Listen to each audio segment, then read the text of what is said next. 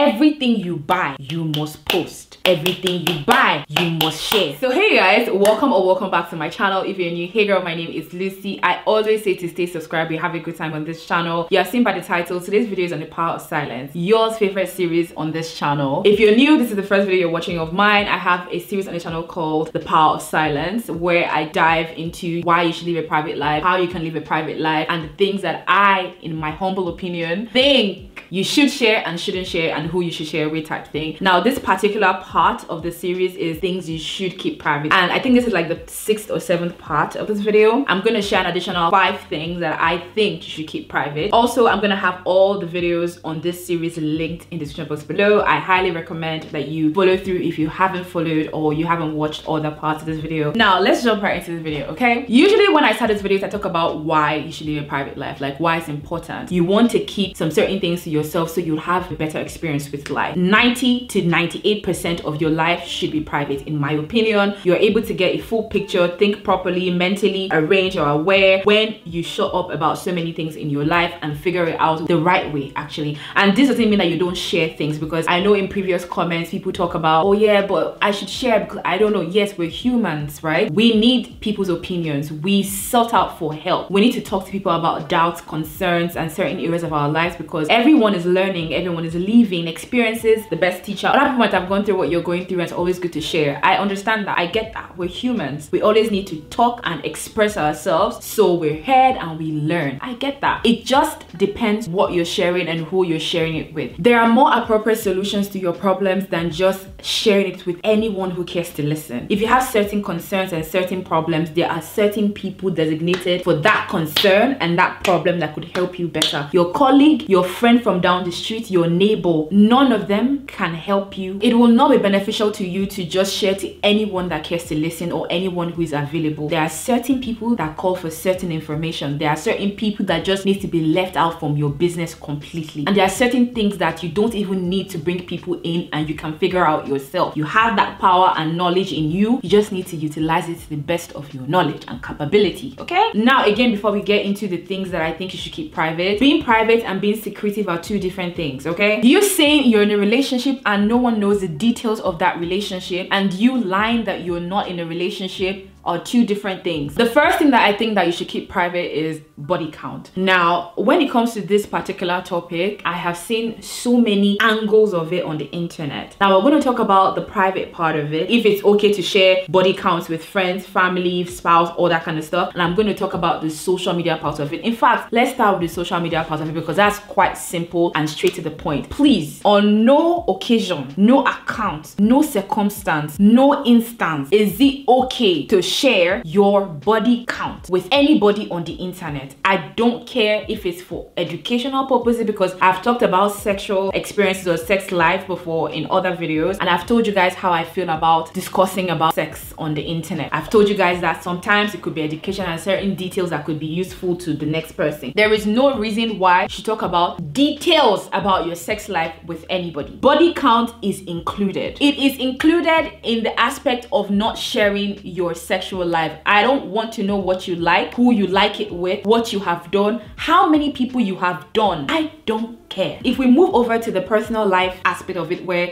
is it okay to share your body count with your friends, your family, your spouse, whoever it is? Now, this is my opinion and I will stand on it. Absolutely not. And again, I understand that with your closest friends, like your best friends, there are certain conversations, like kinky, spicy conversations that come up and you just talk about your experience and all that kind of stuff. But I cannot ever recall a time where I have had that type of conversation with a close friend and they would tell me or will ask each other, what's your body like why of what importance is that information to me. It's not important to me anyway, so let's scrap it. Family members, this one is even disgusting to have this conversation. Why are we having body count conversations with our family members? That's just completely gross. The most important aspect is people asking if you should share body count with your partner. And I say no because it is definitely not important to anybody whose body count. It's not important. But there are certain situations there are certain occasions there are certain circumstances that happen where this type of topic come up. Again i don't see how or when or why it should come up because i feel like if anybody would ask me what my body count is i would automatically be seeing red flags up and down because how is that an important conversation?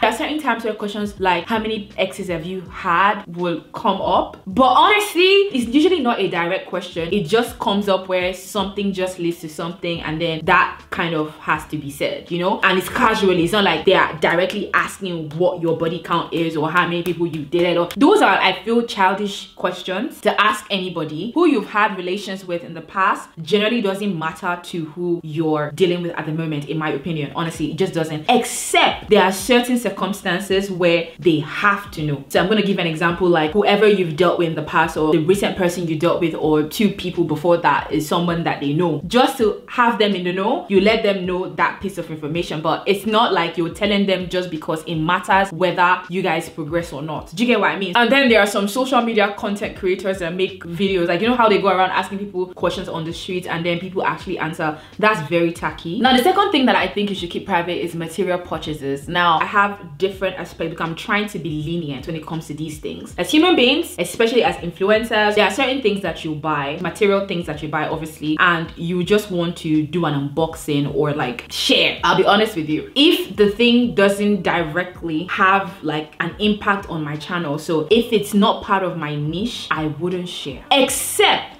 let's say I've been looking for this limited edition something. I don't know what, right? Maybe it could be bag or maybe shoes. And then I finally find it. I'll be so happy to share. And I'm sharing out of excitement that, oh my God, I finally found this, right? And I'll also give backstory. But regularly, unprovoked, everything you buy, you must post. Everything you buy, you must share. There are people that share on social media. There are also people that share in person with other people. Like, oh my God, do you know I just picked up this? Do you know I just bought this? And then granted, there are certain things I share with my friends. Let's say I got this new setting powder and I'll be like, oh my God, like I just bought this setting powder. It's so nice. Or I got a setting powder and I thought it was going to be this, but it's not this. Do you get what I mean? I don't have a problem if that's your content. That's your niche. That's why I said I'm trying to be lenient. Making noise about the things that you buy. Honestly, I just feel it's not necessary. One of the main reasons why I strongly advise against sharing material purchases because people can be funny. They always want to gauge what you're worth is or what your pocket looks like or what your bank account looks like just because you bought this and you're able to afford this or they look at you from a particular lens that oh you have this you could afford this you are this when realistically you aren't just to avoid those type of assumptions about you and what your life is about or what your finances is about what you can afford what you can't afford i'll just say please keep those things to yourself okay keep your material purchase to yourself because you could justify it you know the backstory to every purchase you make, right? But they don't. They just know that you are able to buy this or you're able to afford this. Human beings are really funny, okay? You could be sharing a happy thing in your life and they're thinking about it in 200 different negative ways in their head and they're spoiling it for you. And then tomorrow there are situations where you could come and you'd be like, oh, I'm broke or I don't have money or you know what, I'm going through a tough time now financially. And they'll be looking at you like, didn't you just buy this? Aren't you able to afford this? Like, if you knew that you didn't have it, then why? people are judgmental, okay? That's like the major thing I'm trying to say. People are so judgmental, especially when it comes to your own money and your own pocket, right? People will always have something to say. They will always want to justify why you spent your money the way you spent your money for you on your behalf, which is so creepy to me. So the best thing to do, sis, keep quiet about it, okay? It doesn't matter who it is. I mean, like I said in this video, if somebody sees something they like on you, you can share that, okay, yeah, this is where I got it from. You don't have to lie. But once you start to come to people and give them updates that they did not ask for, especially when it comes to material things that you bought, sis trust me you don't want the assumptions. You don't want people gauging your pocket and weighing your pocket and all that stuff. Sometimes it could also be subtle bragging. Not everybody has the intention to brag but it just gives desperate. It gives oh my god like i haven't seen this type of thing before or this type of things don't usually happen to me and it's happening to me right now. I can't believe it's happening to me type thing. Aside from subtle bragging and all that it could also hinder your blessing. And some people don't really understand where people talk about evil eye or people talk about like people with bad intentions looking at your stuff and plotting against you from afar, all that kind of stuff. You don't really know who's watching. You don't really know this person you're telling this stuff. You don't know if they have your best interest at heart. You don't know what they're thinking. You don't know anything, but you were telling them all these things that you're able to afford recently, all these things that you're able to buy, all these things that have happened to you recently. Like I always tell people, you don't know who is spoiling your progress and your success just by their thoughts only. It's the same thing as, you know, sharing your successes and improvements in your life. They are actually good things that are happening to you. And not everybody should have that access to know these things. Sharing all these things, whether you like it or not, are part of the reasons why people end up in trouble, people fail, people don't do well at some certain points, people just see things turning into shreds in their life. It's because of these things, the small things that you think don't matter. The sharing that bag or that house or that car are affecting some areas in your life because people are literally looking at you with the evil eye. Third thing that I think you should keep private is your past mistakes. This is very important, which should have actually been number one in this video. If you have ruled it as a mistake, you have learned the lesson from it why you keep speaking about it. One reason why you should stop doing this today is for you personally to be able to move on and grow from that mistake. And two for people to not hold it over your head. Human beings will always be human beings. I don't see any reason why i need to talk about my past mistakes especially in detail with anybody. I have learned the mistake from it. I have grown i'm a better person. Let's keep it pushing. Human beings are naturally not as open-minded as you are or you expect them to be. Going around talking about your past mistakes, how you were downplayed, how, how you downplayed yourself, or what you did, how you did it, all that kind of stuff. It is not important for your growth and for the thought of the person that you're having that conversation with. Now, there are certain people that you could have this conversation about past mistakes, which I still don't see the reason why. Because they are mistakes and I don't see any reason except you're making reference to the same situation or a similar situation that, you know, is in the person's life and you're trying to explain to them how you overcame that situation in your life and it was a mistake from your end or you're trying to soothe them you're trying to calm them if they're going through a similar situation and then you could also let them know that they're human you also made the same mistake at some point in your life except in that situation which to be honest with you even in that situation i still wouldn't share i could breeze through and say i have made a similar mistake but I'm not going to give details. That's my private life. My mistakes are my mistakes. They are for me to grow. They are for me to learn. They are for me to take away and make better my life. People are not as forgiving as you expect them to be or you want them to be. Or people are not as forgiving as you are as a person. So you telling them your past mistakes, best believe people will judge you. And the most annoying and depressing and hurtful thing is they begin to look at you just because you told them a mistake that happened years ago. They label you with that mistake. They look at you with that mistake. Whenever they see you from that point on, like the, from the point you told them about that mistake or those mistakes you made in the past, they make that your identity. Something that you've healed from, something that you have gone past, something that you have grown from. They will continue to label you as such, as the girl that made that mistake, as the girl that is capable of making those mistakes. That is the reason why I keep saying close your mouth about your weaknesses, your flaws, your incompetence, all these things that you know you're working on in private about yourself because people will not understand your growth your journey your path. They will not even understand that these are things that you're self-aware about and you're working on. These are things that actually shape the person that you are right now and it's no longer you. They don't care. They will judge you and that will stick on your forehead for the rest of you know your life you know to them in their eyes. And then that also determines how they follow on with you from that point. they don't consider that that is your past they don't consider that's the old you. They don't consider that. I've said this before. The person that you're telling about your past mistakes, you can think that you trust them in your head, or you you think they have some type of loyalty to you. People like gist and entertainment. People like to kiki. I've always said this about friendships, right? People have friends for different reasons, and sometimes they might not admit that they have friends for specific things. A lot of us actually fall into that category. So you might be a close friend to them, but you're not really that close friend to them where they like like to kiki and talk about some certain things. And you've literally given them a topic to talk about which is your past your mistakes. And then you think you're telling one person. Next thing your mistakes your flaws you're continuously being rem- reminded by it by a bunch of other people. Keep your mistakes to yourself. You know that is a mistake, and that is good. That's self awareness. You've worked on it, and you're even able to share it comfortably without even flinching. And even if you even flinch, safe, and you've not grown or healed from it, it is still yours to keep privately. Leave people out of it. The internet is not even a discussion because if I'm telling you to leave your close people out of it, and even your spouse, your partner, leave them out of your past mistake, you are no longer that person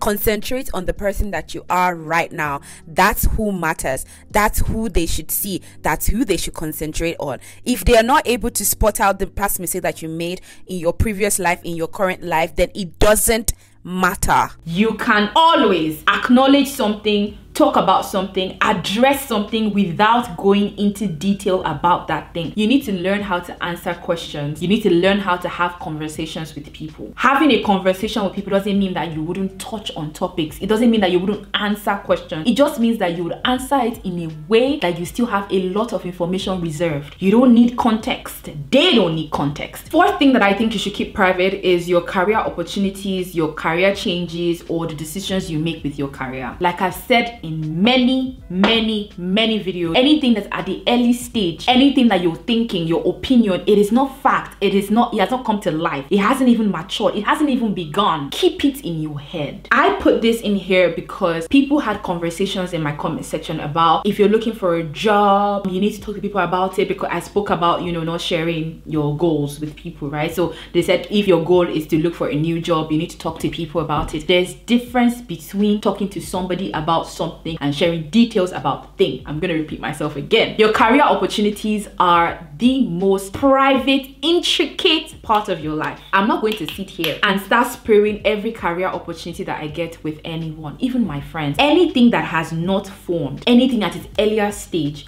is very fragile and can just end abruptly. I have experiences and I've heard so many people say this. When they talk about something, it just never goes well. When you share things, it just begins to misbehave. When it comes to career opportunities, when it comes to your job, what you want to do for work to generate income in your life, I tell you right now, if you've not heard this before, listen to me. Nobody can make that decision for you. Nobody can tell you what career path that you should embark on. It is solely on you. And the only way you can sit and figure that out is if you're quiet about it. If you sit down, think about the things you like, you truly like, you're truly passionate about, the things that make you happy, the kind of job that makes you happy, the kind of things that you're skilled at. It is a personal journey, it's a personal goal, it's a personal race.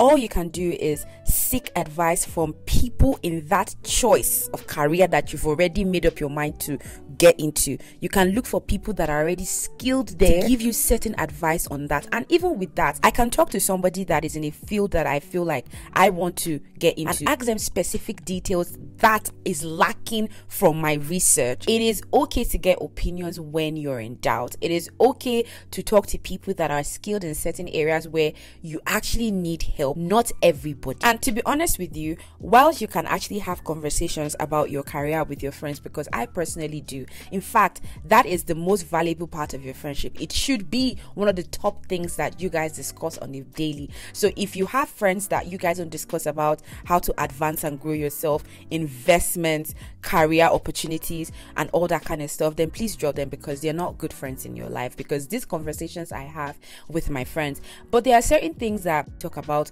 when it comes to career with my friends. I'm not going to drop every career opportunity when I've not even had it thought about it. But I always make sure that it's at a certain point. Not when it is entering, I'm dishing out. It's entering, I'm dishing yes, out. Yes, when you're in doubt, it's okay to call it a close friend. And honestly, I recommend either you're talking to your family member, somebody in your family that you know has that intellect or maturity or understanding of what you're going through at that very point in your life, career wise, or you have a friend that is in the similar field as you as well, or in a similar corporate world if they're in the corporate world at all, if that makes sense. So you look for someone who has similarities with you career wise. It's not all your friends that should have access and information on what your career looks like or what your professional journey looks like or what your decisions are or what your plans are or what your goals are with your career. That's where your money comes from. And if we've already had this conversation and established from the first part of this power of silence video that your finances are private to you, how you make those finances are also private. Everyone can know you have a job, you this is what you do. People can on the surface level know that oh